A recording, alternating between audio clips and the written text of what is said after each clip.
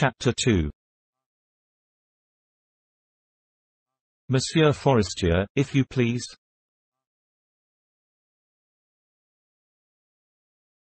Third floor, the door on the left, the concierge had replied, in a voice the amiable tone of which betokened a certain consideration for the tenant, and George Duroy ascended the stairs.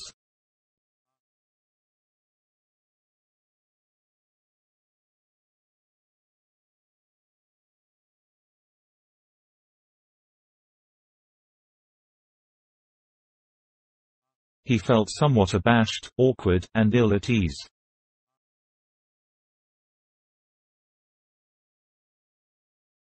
He was wearing a dress suit for the first time in his life, and was uneasy about the general effect of his toilet.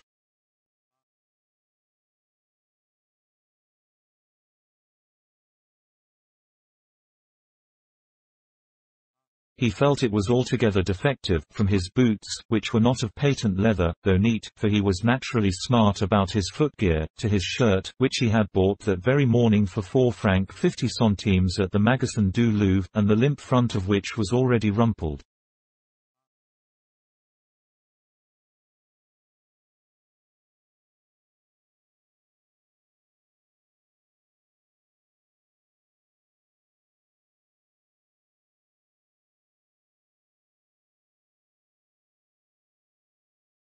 His everyday shirts were all more or less damaged, so that he had not been able to make use of even the least worn of them.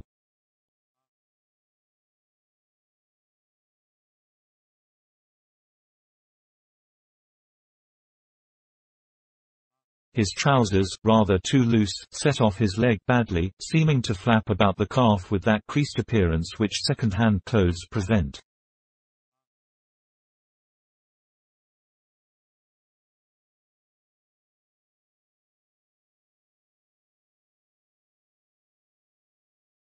The coat alone did not look bad, being by chance almost a perfect fit.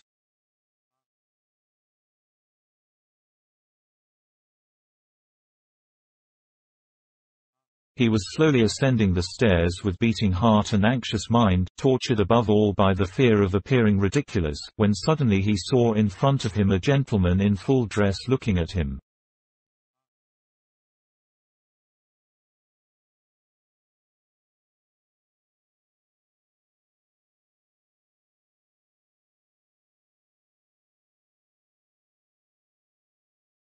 They were so close to one another that Duroy took a step back and then remained stupefied. It was himself, reflected by a tall mirror on the first floor landing.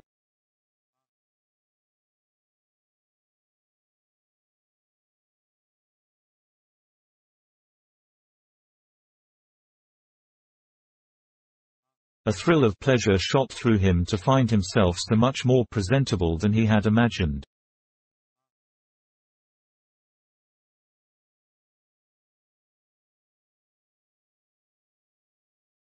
Only having a small shaving glass in his room, he had not been able to see himself all at once, and as he had only an imperfect glimpse of the various items of his improvised toilet, he had mentally exaggerated its imperfections, and harped to himself on the idea of appearing grotesque.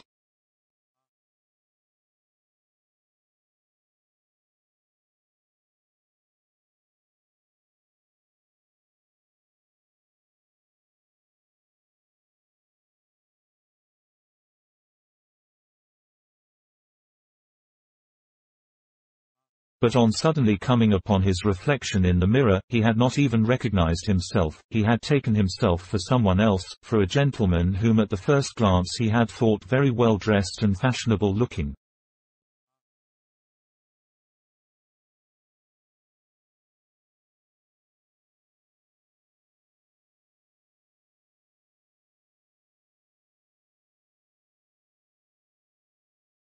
And now, looking at himself carefully, he recognized that really the general effect was satisfactory.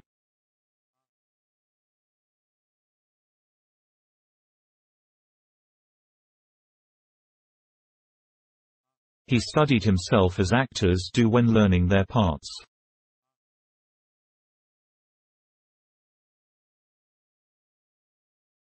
He smiled, held out his hand, made gestures, expressed sentiments of astonishment, pleasure, and approbation, and essayed smiles and glances, with a view of displaying his gallantry towards the ladies, and making them understand that they were admired and desired.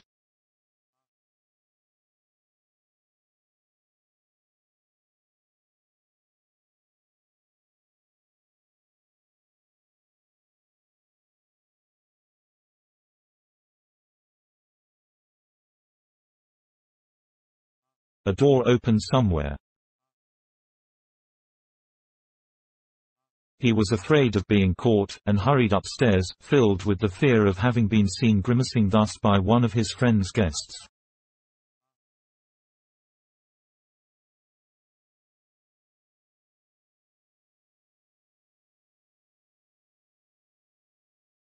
On reaching the second story he noticed another mirror, and slackened his pace to view himself in it as he went by.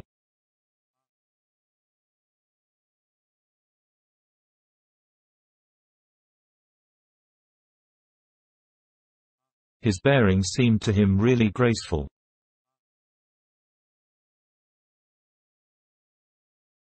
He walked well. And now he was filled with an unbounded confidence in himself.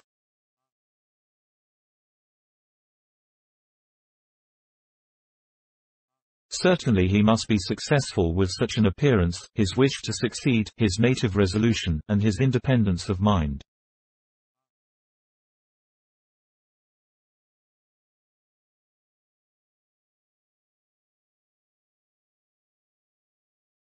He wanted to run, to jump, as he ascended the last flight of stairs.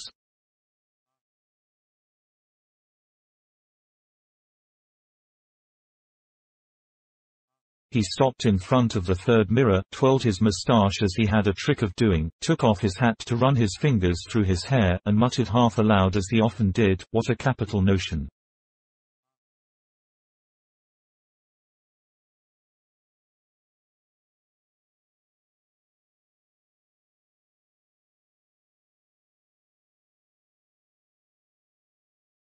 Then raising his hand to the bell handle, he rang.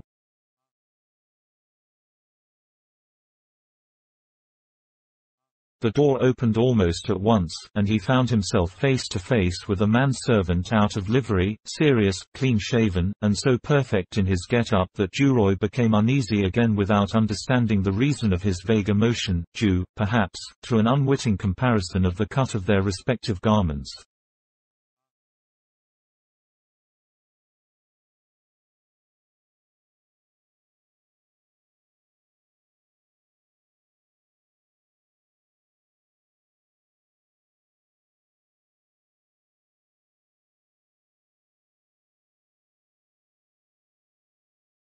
The manservant, who had patent leather shoes, asked, as he took the overcoat which Duroy had carried on his arm, to avoid exposing the stains on it.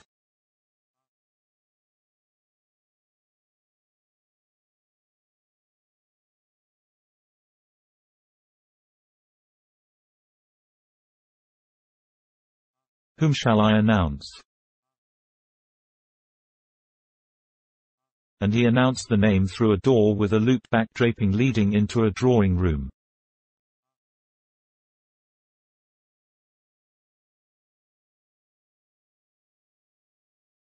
But Duroy, suddenly losing his assurance, felt himself breathless and paralyzed by terror.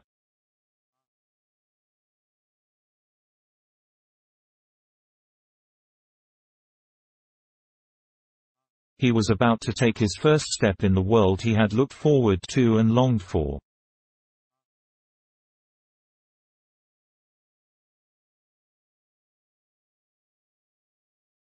He advanced, nevertheless.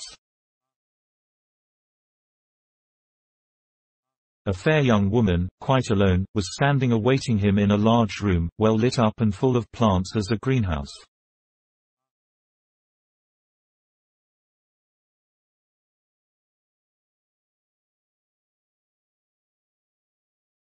He stopped short, quite disconcerted.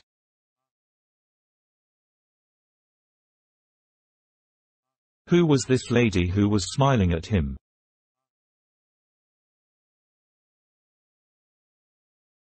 Then he remembered that Forestier was married, and the thought that this pretty and elegant blonde must be his friend's wife completed his alarm.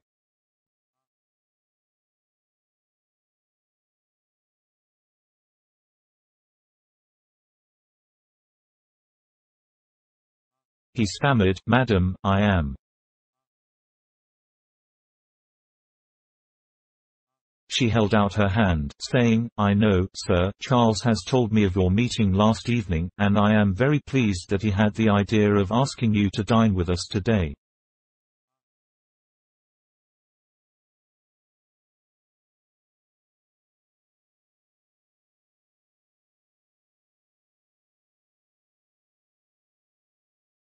He blushed up to his ears, not knowing what to say, and felt himself examined from head to foot, reckoned up, and judged.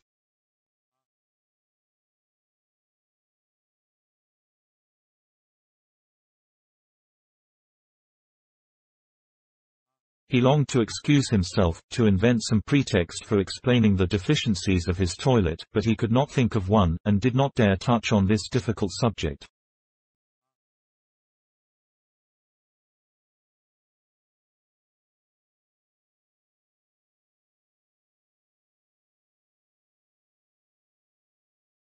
He sat down on an armchair she pointed out to him, and as he felt the soft and springy velvet-covered seat yield beneath his weight, as he felt himself, as it were, supported and clasped by the padded back and arms, it seemed to him that he was entering upon a new and enchanting life, that he was taking possession of something delightful, that he was becoming somebody, that he was saved, and he looked at Madame Forestier, whose eyes had not quitted him.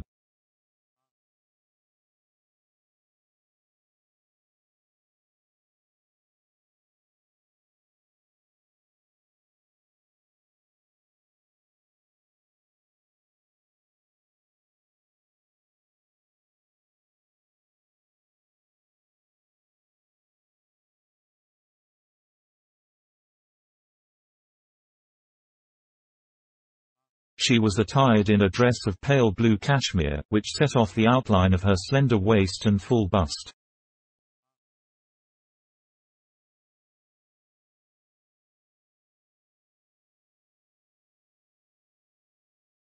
Her arms and neck issued from a cloud of white lace, with which the bodice and short sleeves were trimmed, and her fair hair, dressed high, left a fringe of tiny curls at the nape of her neck.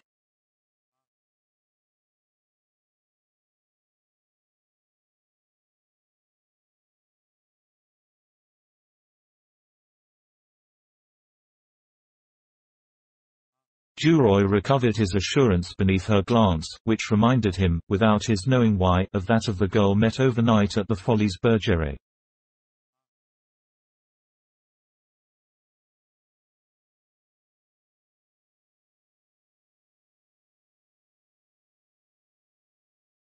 She had grey eyes, of a bluish-grey, which imparted to them a strange expression, a thin nose, full lips, a rather fleshy chin, and irregular but inviting features, full of archness and charm.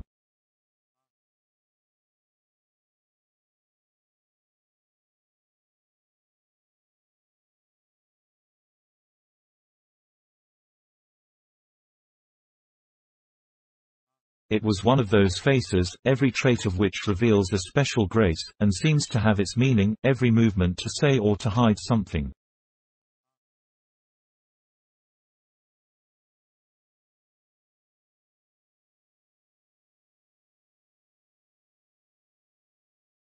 After a brief silence she asked.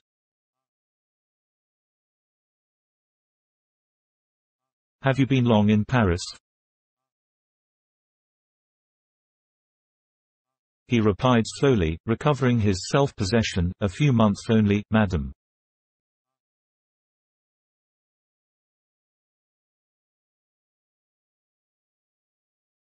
I have a berth in one of the railway companies, but Forestier holds out the hope that I may, thanks to him, enter journalism.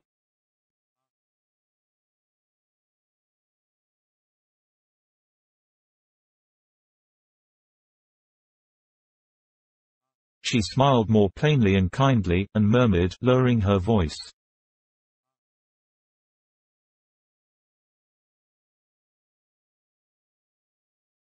Yes, I know. The bell had rung again. The servant announced Madame de Marelle.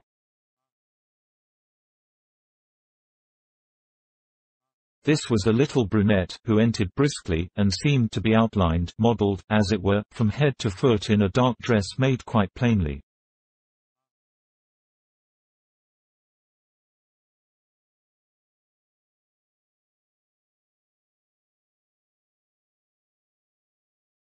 A red rose placed in her black hair caught the eye at once, and seemed to stamp her physiognomy, accentuate her character, and strike the sharp and lively note needed.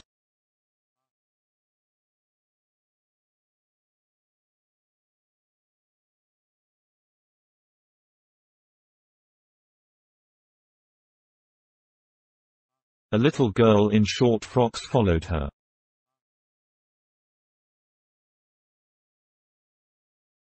Madame Forestier darted forward, exclaiming, Good evening, Clotilde.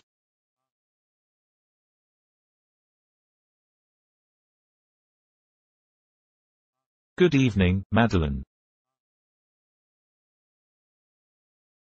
They kissed one another, and then the child offered her forehead, with the assurance of a grown-up person, saying, Good evening, cousin.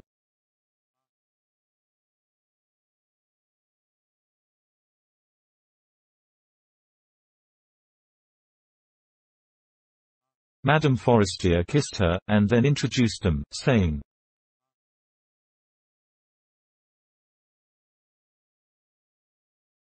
Monsieur Georges Duroy, an old friend of Charles, Madame de Marelle, my friend, and in some degree my relation.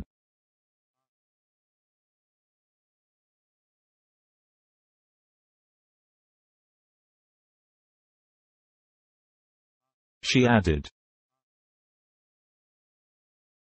You know we have no ceremonious affectation here.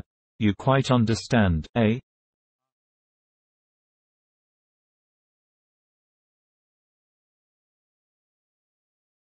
The young man bowed. The door opened again, and a short, stout gentleman appeared, having on his arm a tall, handsome woman, much younger than himself, and of distinguished appearance and grave bearing.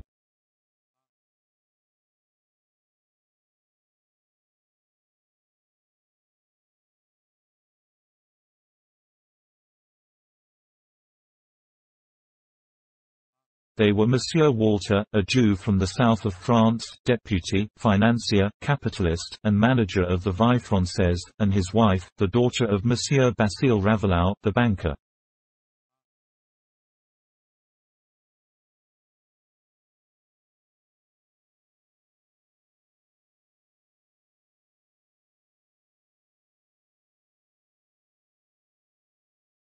Then came, one immediately after the other, Jacques Rival, very elegantly got up, and Norbert de Varenne, whose coat collar shone somewhat from the friction of the long locks falling on his shoulders and scattering over them a few specks of white scurf.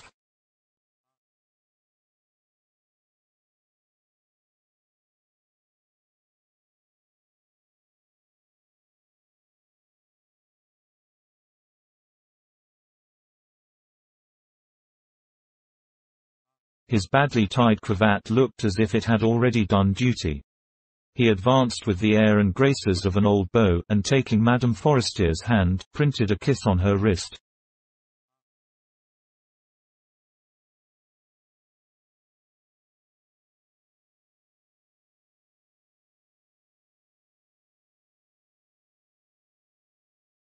As he bent forward his long hair spread like water over her bare arm.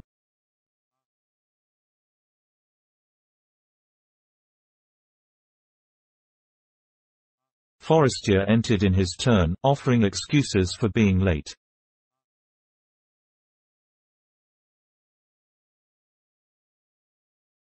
He had been detained at the office of the paper by the Morel affair.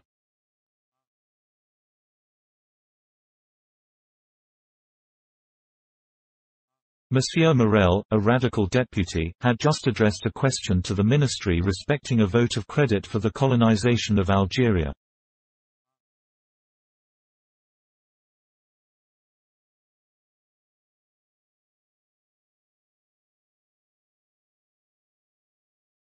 The servant announced, Dinner is served, madam, and they passed into the dining room.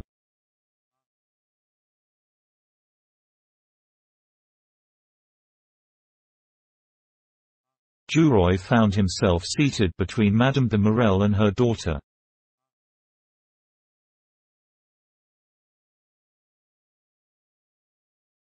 He again felt ill at ease, being afraid of making some mistake in the conventional handling of forks, spoons, and glasses.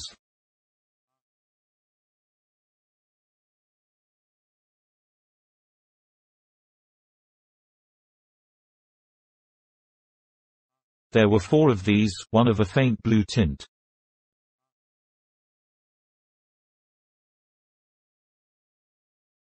What could be meant to be drunk out of that?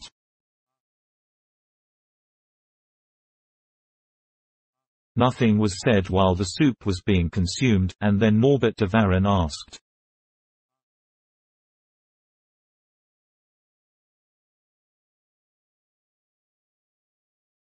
Have you read the Gauthier case?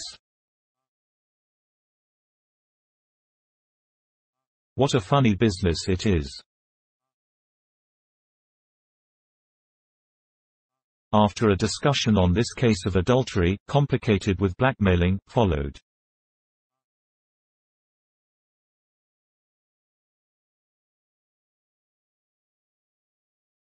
They did not speak of it as the events recorded in newspapers are spoken of in private families, but as a disease is spoken of among doctors, or vegetables among market gardeners.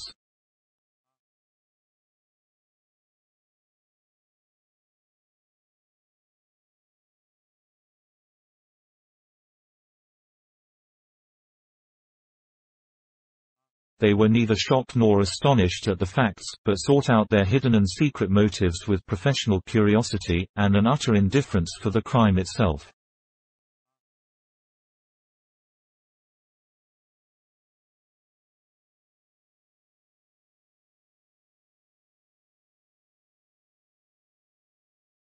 They sought to clearly explain the origin of certain acts, to determine all the cerebral phenomena which had given birth to the drama, the scientific result due to an especial condition of mind.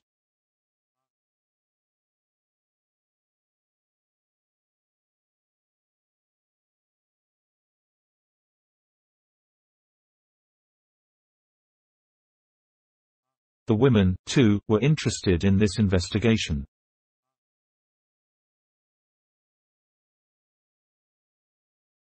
And other recent events were examined, commented upon, turned so as to show every side of them, and weighed correctly, with the practical glance, and from the especial standpoint of dealers in news, and vendors of the drama of life at so much a line, just as articles destined for sale are examined, turned over, and weighed by tradesmen.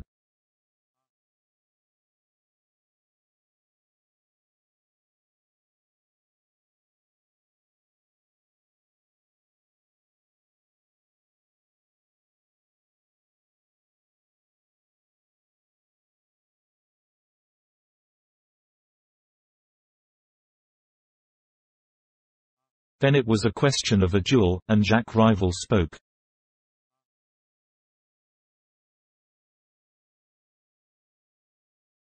This was his business, no one else could handle it.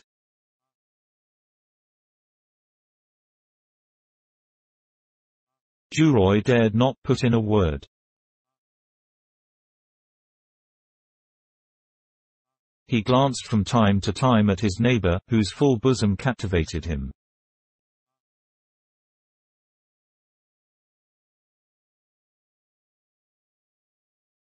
A diamond, suspended by a thread of gold, dangled from her ear like a drop of water that had rolled down it.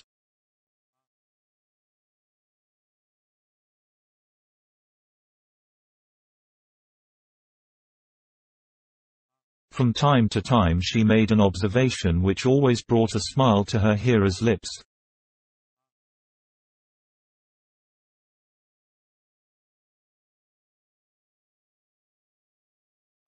She had a quaint, pleasant wit, that of an experienced tomboy who views things with indifference and judges them with frivolous and benevolent skepticism.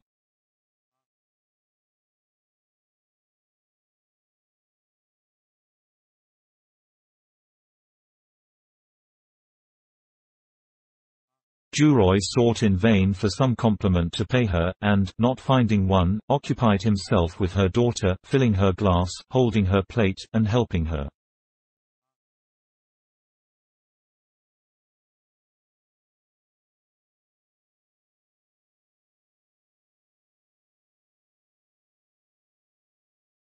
The child, graver than her mother, thanked him in a serious tone and with a slight bow, saying, You are very good, sir, and listened to her elders with an air of reflection.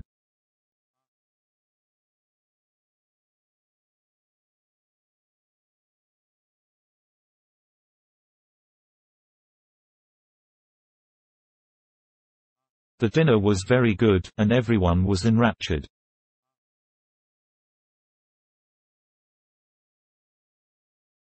Monsieur Walter ate like an ogre, hardly spoke, and glanced obliquely under his glasses at the dishes offered to him.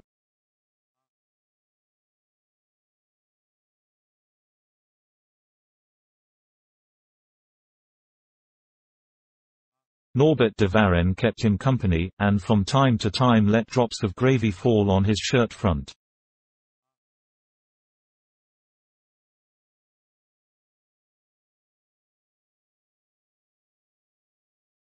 Forestier, silent and serious, watched everything, exchanging glances of intelligence with his wife, like confederates engaged together on a difficult task which is going on swimmingly.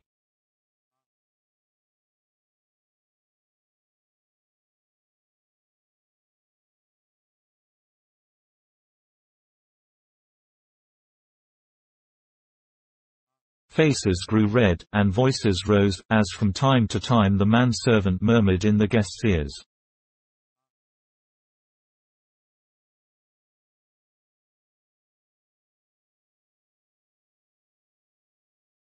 Corton or Chateau La Rose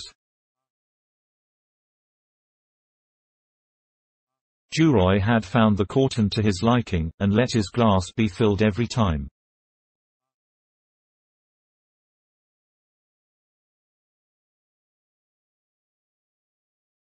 A delicious liveliness stole over him, a warm cheerfulness, that mounted from the stomach to the head, flowed through his limbs and penetrated him throughout.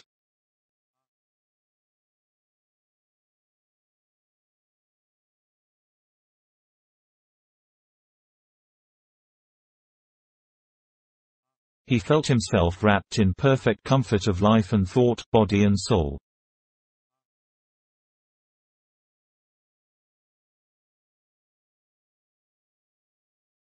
A longing to speak assailed him, to bring himself into notice, to be appreciated like these men, whose slightest words were relished.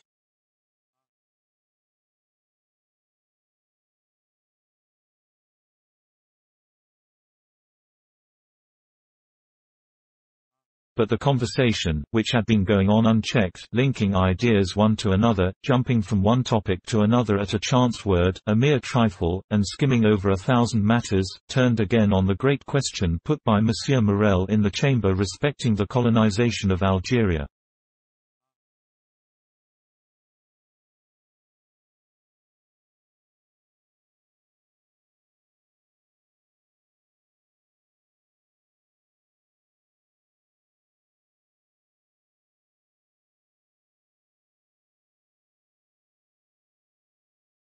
Monsieur Walter, between two courses, made a few jests, for his wit was skeptical and broad.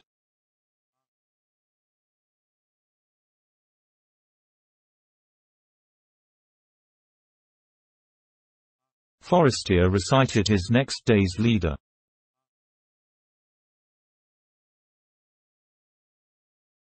Jacques Rival insisted on a military government with land grants to all officers after 30 years of colonial service.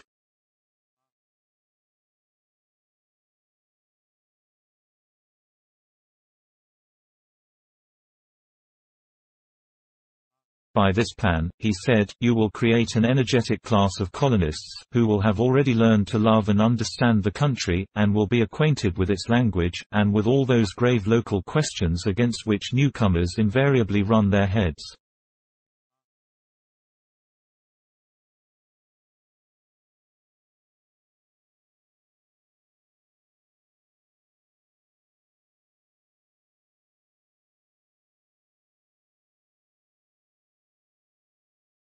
Norbert de Varenne interrupted him with,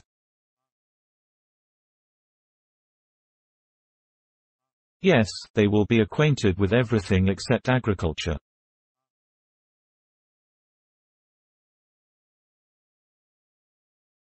They will speak Arabic, but they will be ignorant how beetroot is planted out and wheat sown.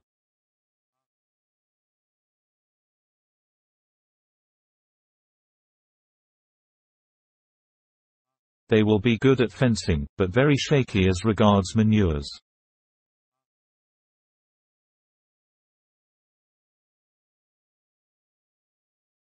On the contrary, this new land should be thrown entirely open to everyone.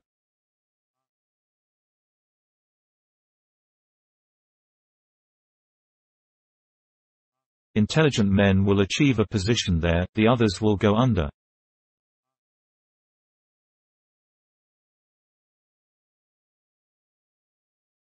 It is the social law. A brief silence followed, and the listeners smiled at one another.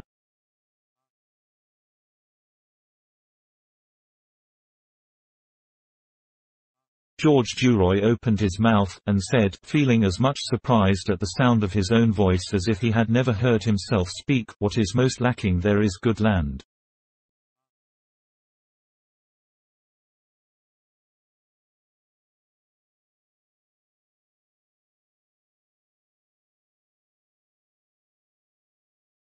The really fertile estates cost as much as in France, and are bought up as investments by rich Parisians.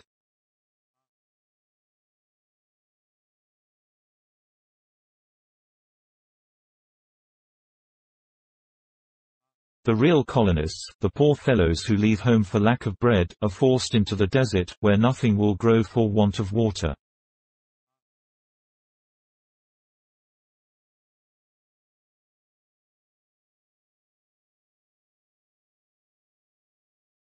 Everyone looked at him, and he felt himself blushing.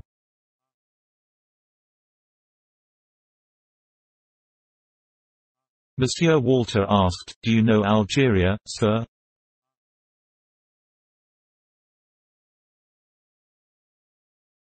George replied, Yes, sir, I was there nearly two years and a half, and I was quartered in all three provinces.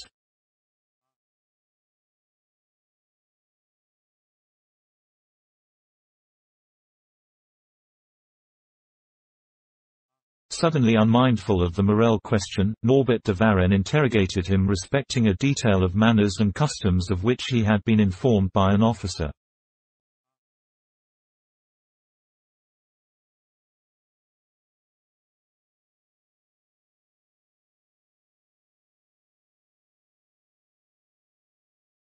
It was with respect to the MZAB, that strange little Arab republic sprung up in the midst of the Sahara, in the driest part of that burning region.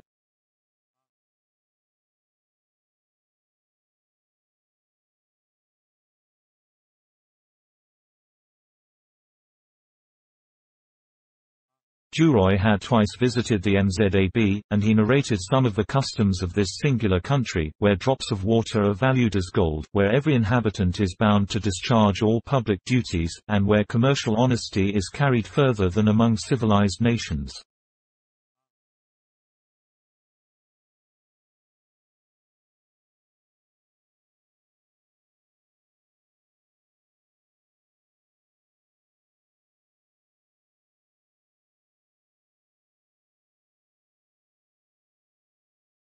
He spoke with a certain raciness excited by the wine and the desire to please, and told regimental yarns, incidents of Arab life and military adventure.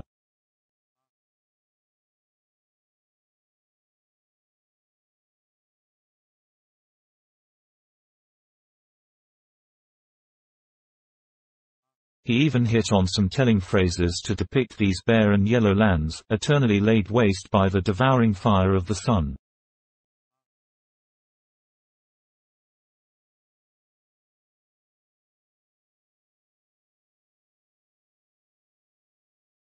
All the women had their eyes turned upon him, and Madame Walter said, in her deliberate tones.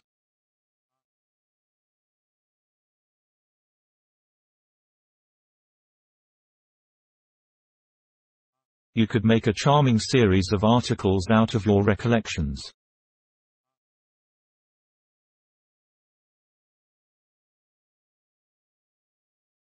Then Walter looked at the young fellow over the glasses of his spectacles, as was his custom when he wanted to see anyone's face distinctly.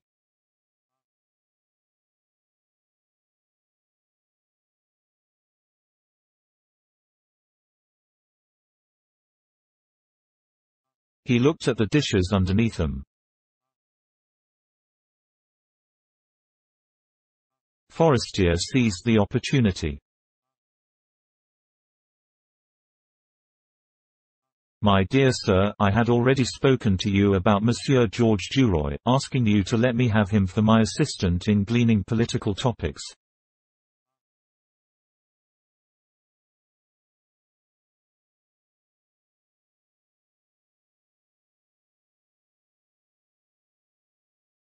Since Marambot left us, I have no one to send in quest of urgent and confidential information, and the paper suffers from it.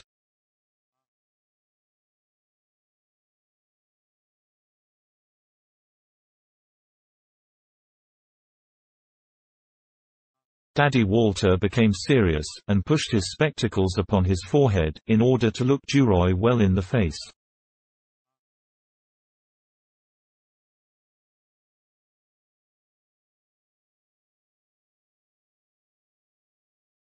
Then he said, It is true that Monsieur Duroy has evidently an original turn of thought.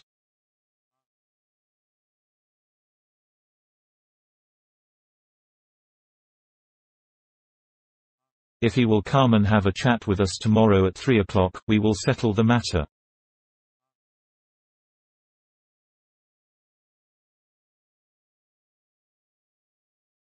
Then, after a short silence, turning right round towards George, he added,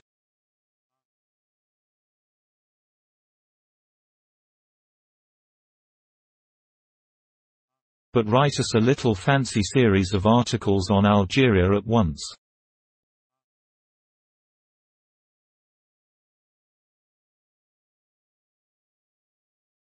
Relate your experiences, and mix up the colonization question with them as you did just now.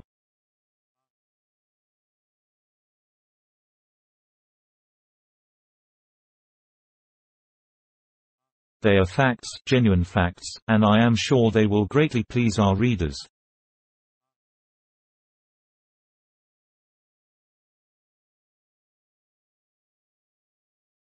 But be quick.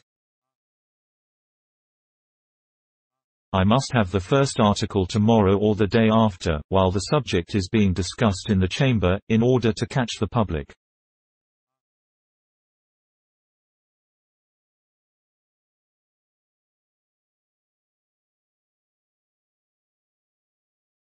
Madame Walter added, with that serious grace which characterized everything she did, and which lent an air of favor to her words, and you have a charming title, Recollections of a Chasseur d'Afrique.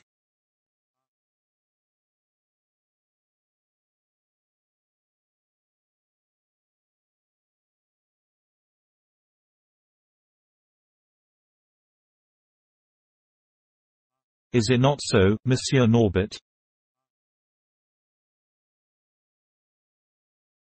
The old poet, who had won renown late in life, feared and hated newcomers.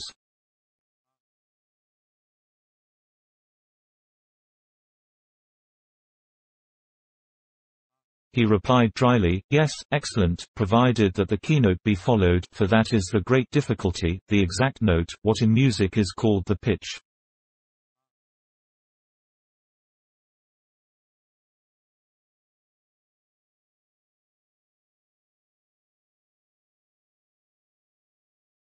Madame Forestier cast on Duroy a smiling and protective glance, the glance of a connoisseur, which seemed to say, yes, you will get on.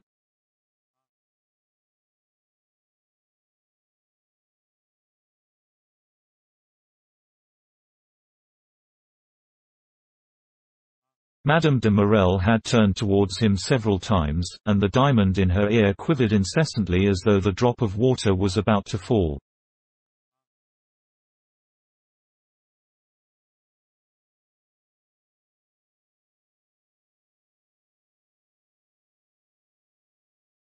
The little girl remained quiet and serious, her head bent over her plate.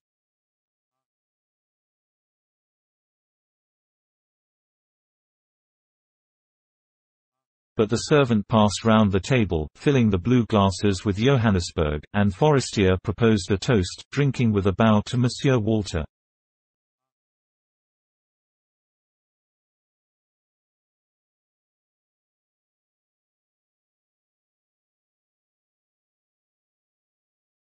Prosperity to the Vie Française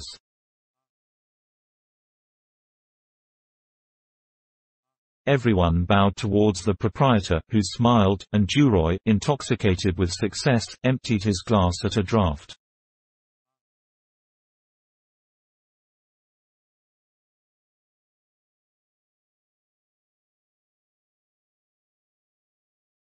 He would have emptied a whole barrel after the same fashion, it seemed to him that he could have eaten a bullock or strangled a lion.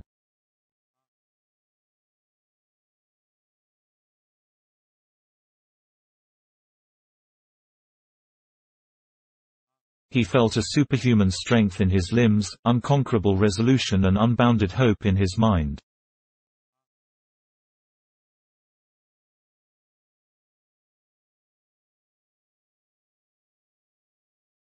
He was now at home among these people, he had just taken his position, won his place.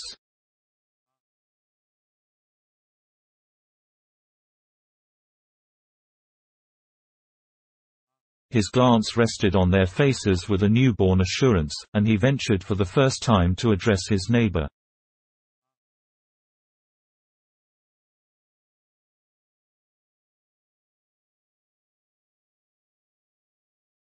You have the prettiest earrings I have ever seen, madam.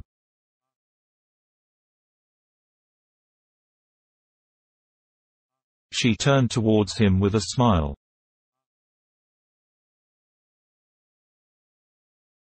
It was an idea of my own to have the diamonds hung like that, just at the end of a thread.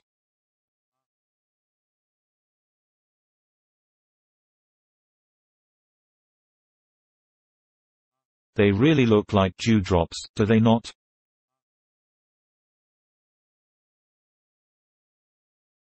He murmured, ashamed of his own daring, and afraid of making a fool of himself.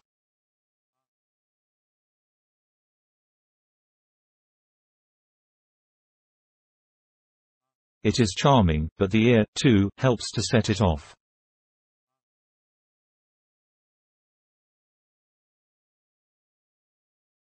She thanked him with a look, one of those woman's looks that go straight to the heart.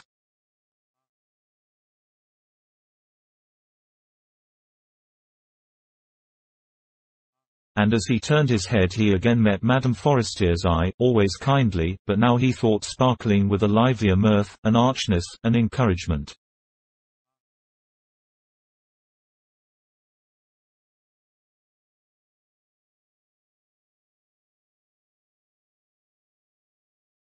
All the men were now talking at once with gesticulations and raised voices. They were discussing the great project of the Metropolitan Railway.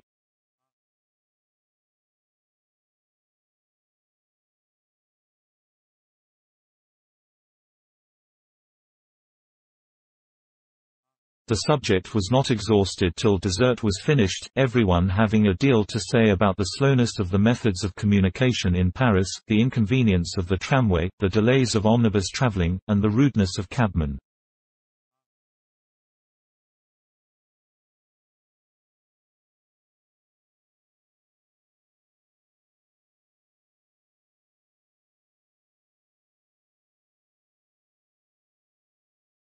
Then they left the dining room to take coffee.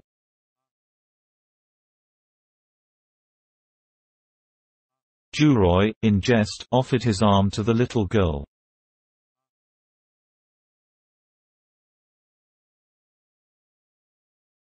She gravely thanked him, and rose on tiptoe in order to rest her hand on it.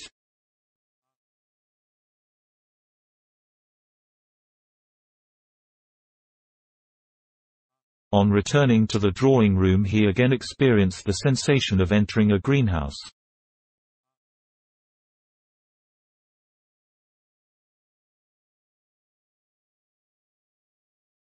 In each of the four corners of the room tall palms unfolded their elegantly shaped leaves, rising to the ceiling, and their spreading fountain-wise.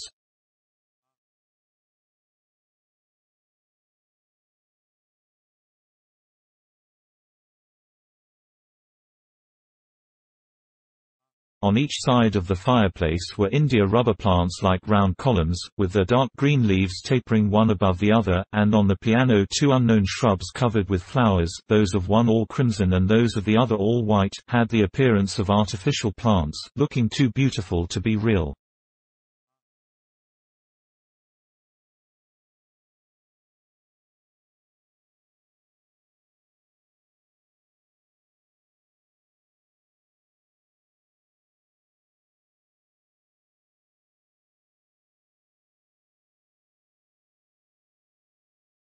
The air was cool, and laden with a soft, vague perfume that could scarcely be defined.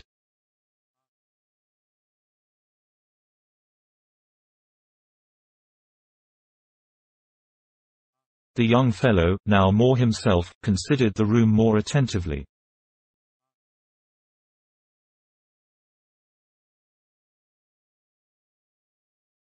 It was not large, nothing attracted attention with the exception of the shrubs, no bright color struck one, but one felt at one's ease in it, one felt soothed and refreshed, and, as it were, caressed by one's surroundings.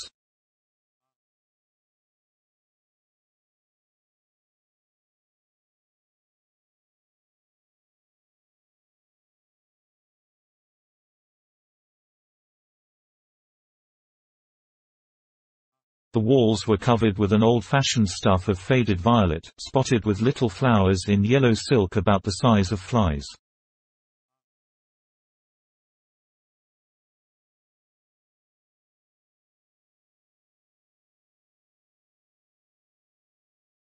Hangings of grayish-blue cloth, embroidered here and there with crimson poppies, draped the doorways, and the chairs of all shapes and sizes, scattered about the room, lounging chairs, easy chairs, ottomans, and stools, were upholstered in Louis C silk or Utrecht velvet, with a crimson pattern on a cream-colored ground.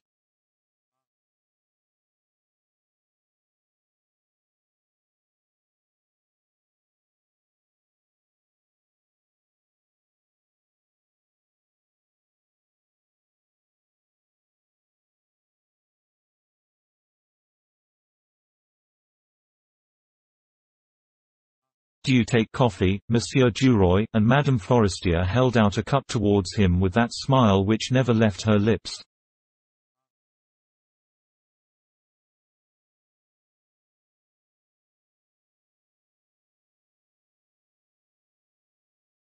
Thank you, madam. He took the cup, and as he bent forward to take a lump of sugar from the sugar basin carried by the little girl, Madame Forestier said to him in a low voice,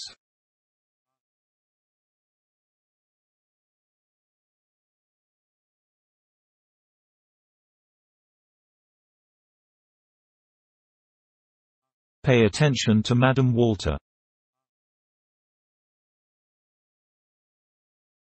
Then she drew back before he had time to answer a word.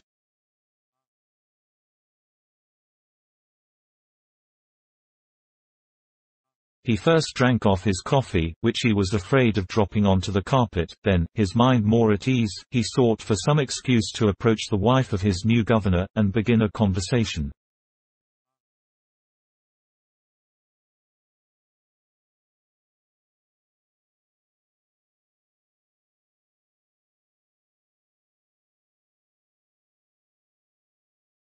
All at once he noticed that she was holding an empty cup in her hand, and as she was at some distance from a table, did not know where to put it.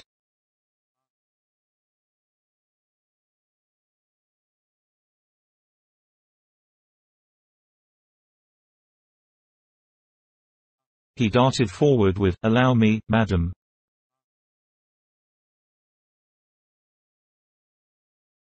Thank you, sir. He took away the cup and then returned.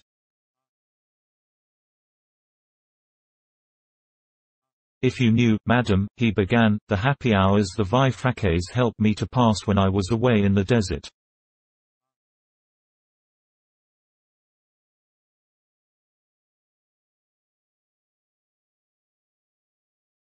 It is really the only paper that is readable out of France, for it is more literary, wittier, and less monotonous than the others.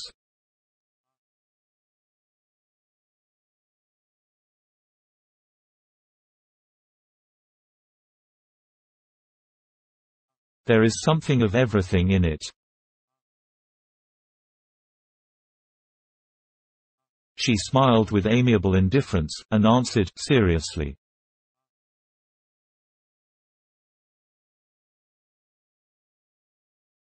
Monsieur Walter has had a great deal of trouble to create a type of newspaper supplying the want of the day.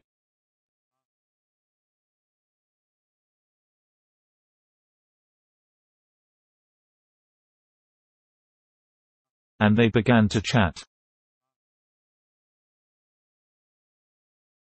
He had an easy flow of commonplace conversation, a charm in his voice and look, and an irresistible seductiveness about his moustache.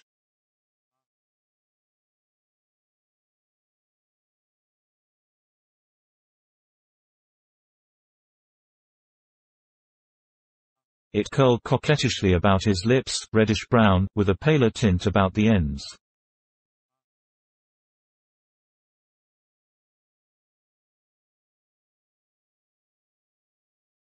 They chatted about Paris, its suburbs, the banks of the Seine, watering places, summer amusements, all the current topics on which one can prate to infinity without wearying oneself.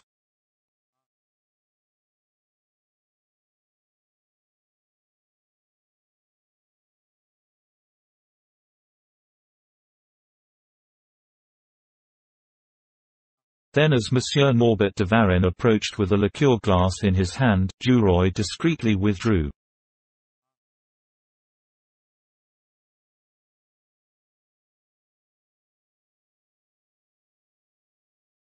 Madame de Marelle, who had been speaking with Madame Forestier, summoned him.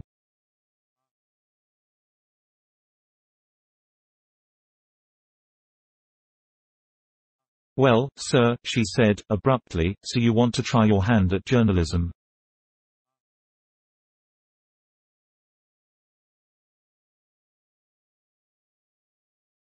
He spoke vaguely of his prospects, and there recommenced with her the conversation he had just had with Madame Walter, but as he was now a better master of his subject, he showed his superiority in it, repeating as his own the things he had just heard.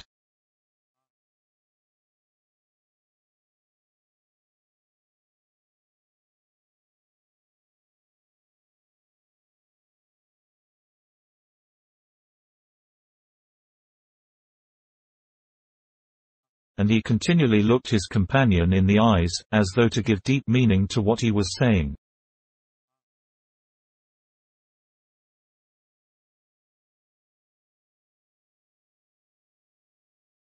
She, in her turn, related anecdotes with the easy flow of spirits of a woman who knows she is witty, and is always seeking to appear so, and becoming familiar, she laid her hand from time to time on his arm, and lowered her voice to make trifling remarks which thus assumed a character of intimacy.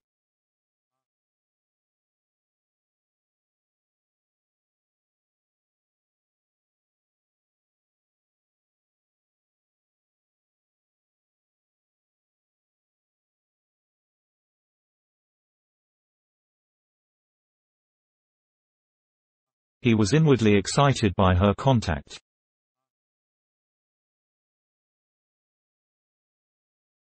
He would have liked to have shown his devotion for her on the spot, to have defended her, shown her what he was worth, and his delay in his replies to her showed the preoccupation of his mind.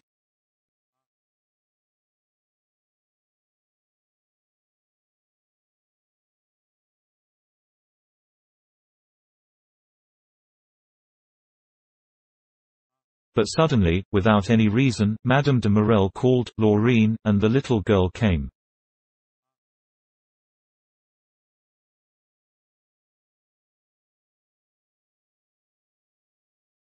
Sit down here, child, you will catch cold near the window.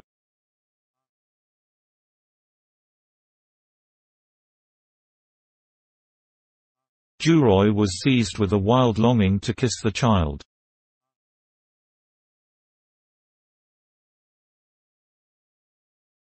It was as though some part of the kiss would reach the mother.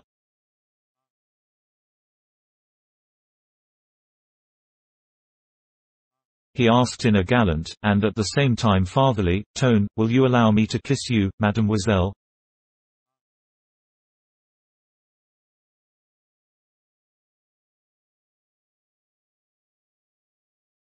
The child looked up at him in surprise.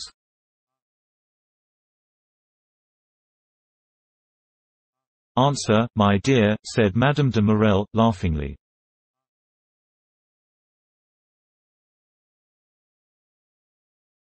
Yes, sir, this time, but it will not do always.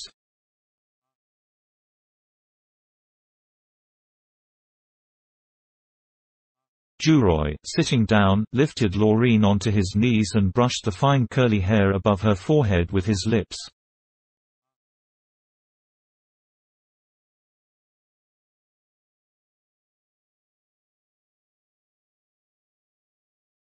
Her mother was surprised. What, she has not run away, it is astounding.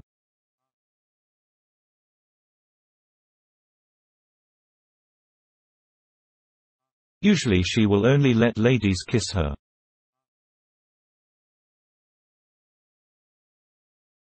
You are irresistible, Monsieur Duroy.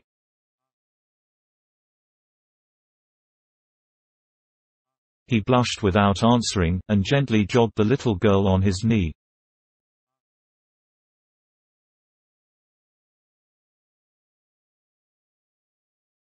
Madame Forestier drew near, and exclaimed, with astonishment.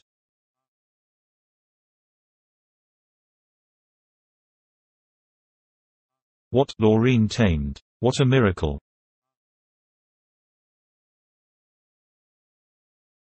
Jacques Rival also came up, cigar in mouth, and Duroy rose to take leave, afraid of spoiling, by some unlucky remark, the work done, his task of conquest begun.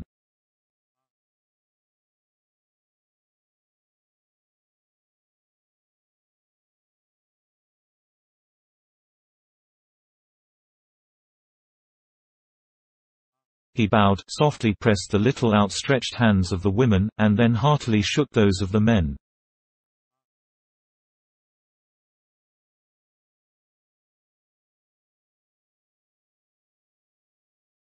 He noted that the hand of Jacques Rival, warm and dry, answered cordially to his grip, that of Norbert de Varenne, damp and cold, slipped through his fingers, that of Daddy Walter, cold and flabby, was without expression or energy, and that of Forestier was plump and moist.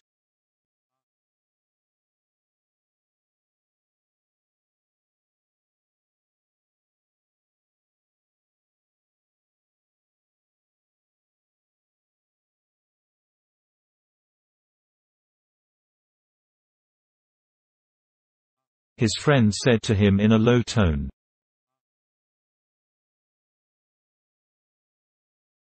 Tomorrow, at three o'clock, do not forget.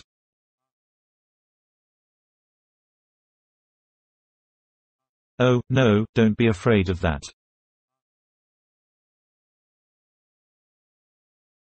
When he found himself once more on the stairs he felt a longing to run down them, so great was his joy, and he darted forward, going down two steps at a time, but suddenly he caught sight in a large mirror on the second-floor landing of a gentleman in a hurry, who was advancing briskly to meet him, and he stopped short, ashamed, as if he had been caught tripping.